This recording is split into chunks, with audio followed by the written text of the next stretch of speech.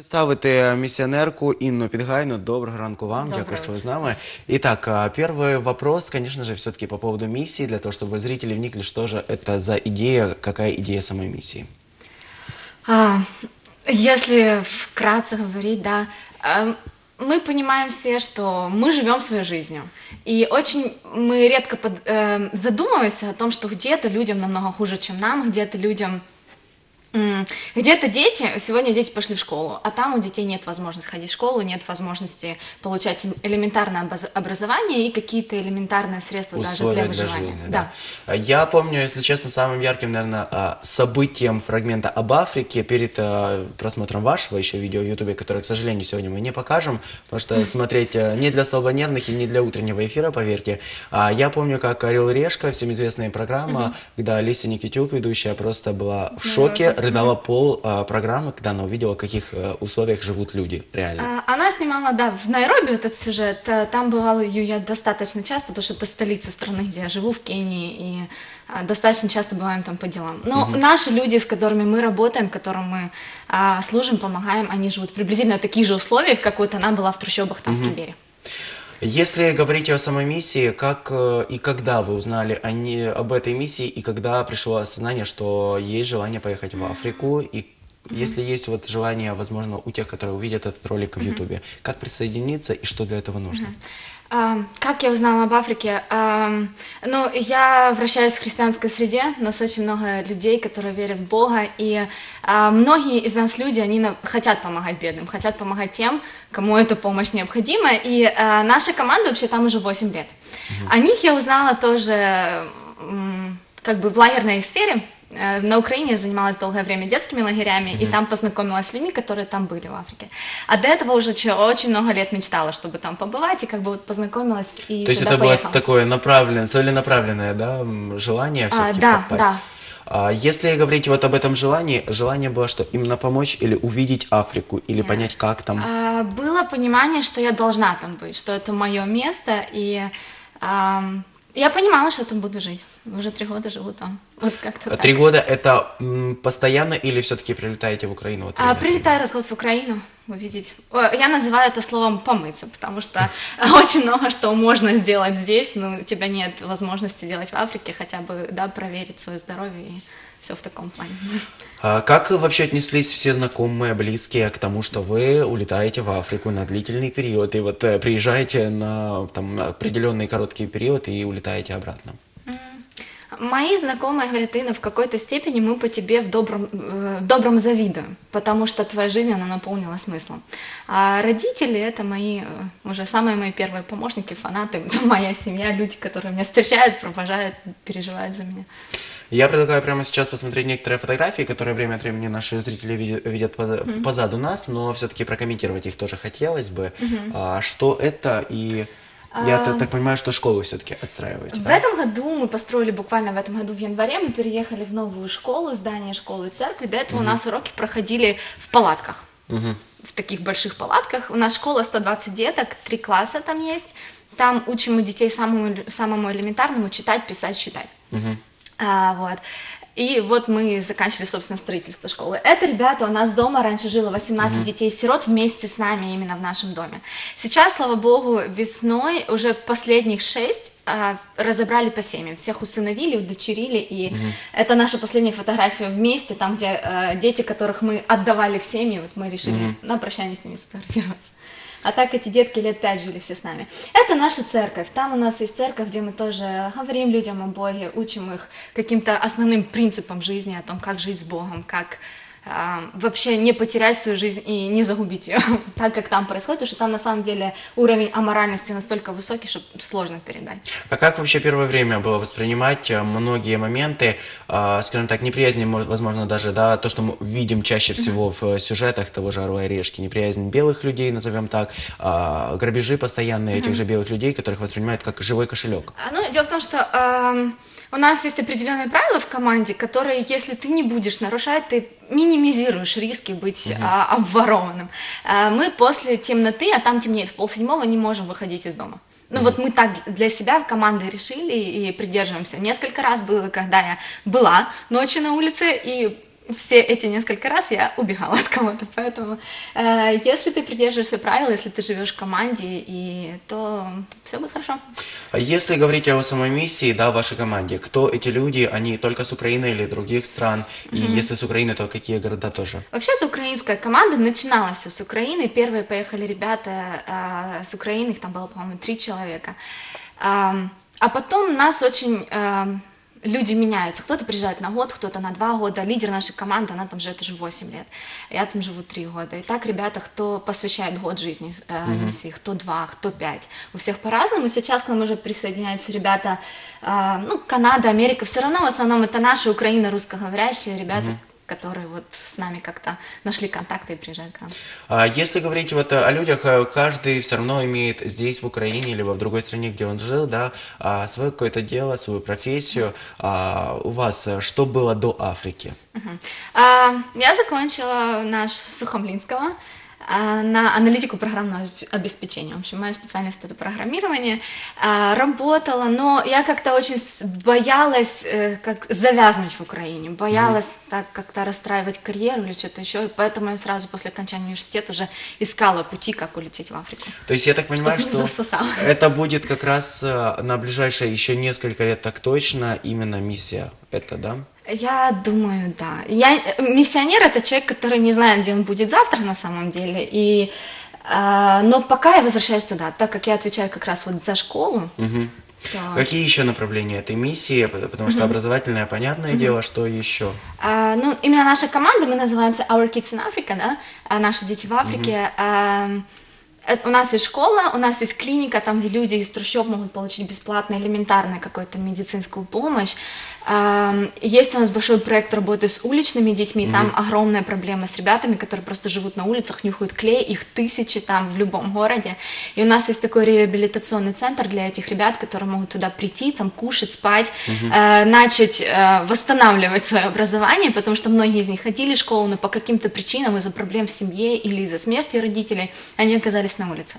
И вот мы помогаем таким ребятам вернуться к нормальной жизни. Если говорить о школах, там школы в основном это основанные вот миссионерами или есть школы? А, нет, государственные школы есть, но в любом случае образование там платное. Угу. И если у мамы заработок в месяц 30 долларов, и у нее пятеро детей, и за школу надо эм, платить ну, когда 30 долларов в год, если это первый класс, а uh последний класс, то это будет 10 долларов в месяц. uh Соответственно, это ну, большая роскошь водить ребенка в школу, и для многих это просто нереально.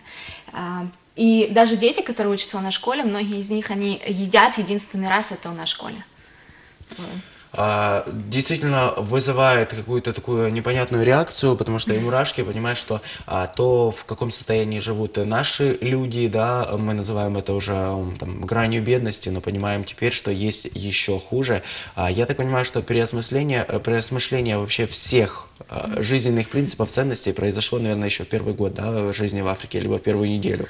Ну, я, наверное, ехала и настраивалась уже на то, что я увижу. У меня ни разу не было такого, что я сидела и прям расплакалась, разрыдалась, потому что угу. я понимаю, что этим не поможешь. Ты должен работать для того, чтобы что-то изменилось и вкладывать в этих людей. Дух бойца должен быть всегда. А, да, то есть оно слез... ну, слезами, эмоциями ничем не поможешь. Поэтому да, конечно, уже приезжая на Украину mm-hmm. или рассматривая там фотографии друзей в Инстаграме, ой, я была в кафе, там тортик не очень. Конечно, ты понимаешь, что это проблема непонятно какого уровня и зачем вообще об этом mm-hmm. думать.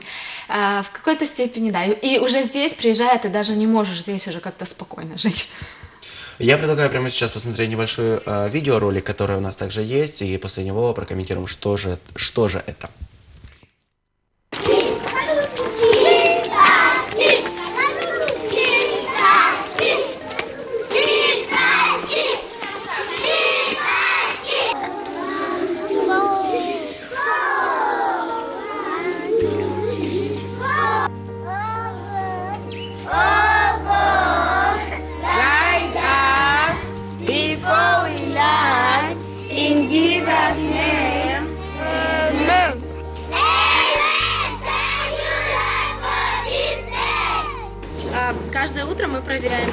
Если у них на голове лишей. И если есть, мы обрабатываем голову мазью.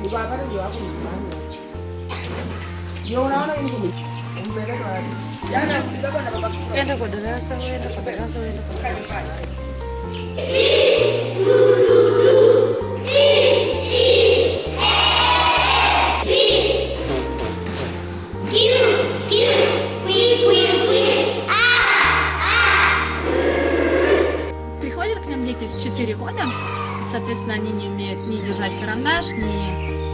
даже элементарно сидеть.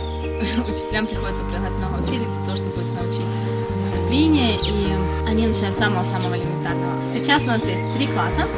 Это самое младшее, средний и уже прискул. Это дети, которые в следующем году ходят в государственную школу. В школе у нас есть сейчас пять предметов. Это математика, английский, суахили, это государственный язык, природоведение и библейские уроки.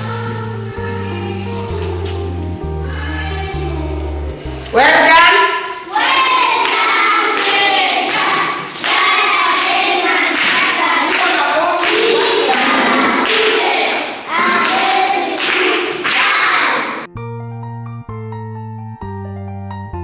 нашей школе дети также едят.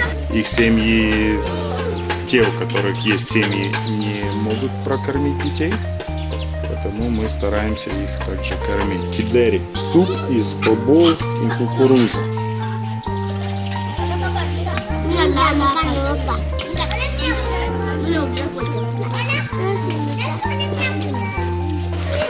Нас школа – это шанс действительно что-то реально начать менять в. С образованием приходит понимание, что возможно другая жизнь. Возможно вырваться из э, вот этого порочного замкнутого, замкнутого круга бедности. Родители, когда понимают, что у детей появился шанс, а все, что им надо, чуть-чуть напрячься, они начинают э, искать работу, перестают пить. Жизнь меняется благодаря школе. И образование – это первое, что может действительно что-то поменять. У них появится шанс.